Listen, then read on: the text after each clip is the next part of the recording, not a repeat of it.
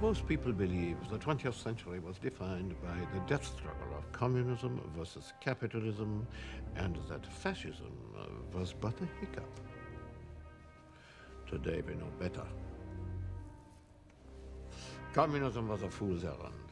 The followers of Marx gone from this earth, but the followers of Hitler are bound and thrive. Hitler, however, had one great disadvantage. He lived in a time when fascism, like a virus, like the AIDS virus, needed a strong host in order to spread. Germany was that host, but strong as it was, Germany could not prevail. The world was too big. Fortunately, the world has changed.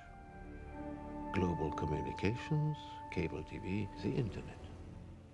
Today the world is smaller. And the virus does not need a strong host in order to spread. This virus is airborne. One more thing. Let no man call us crazy. They called Hitler crazy, but Hitler wasn't crazy.